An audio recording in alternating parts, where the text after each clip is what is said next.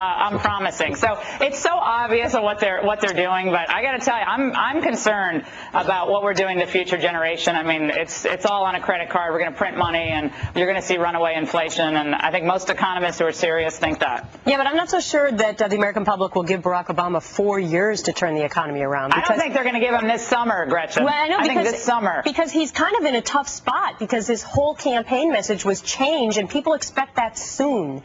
They expect him Change. to be the miracle worker. Yeah that he campaigned as that he would improve the economy. So I think they're in a really difficult situation.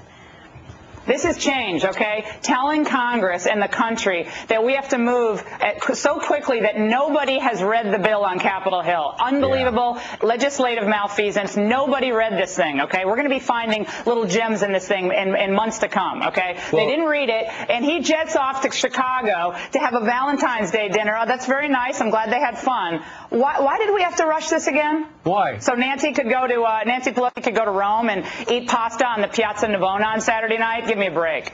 Well, uh, let me ask some, uh, Laura. In your estimation, how much political capital was spent in passing this package?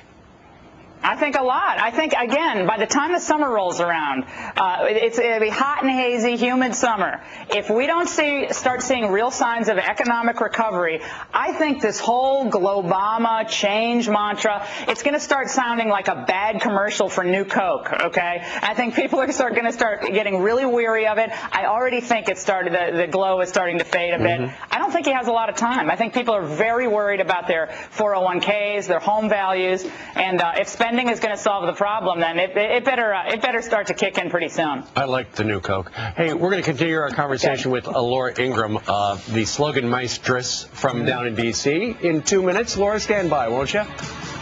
Yeah. All right. Also, remember that big.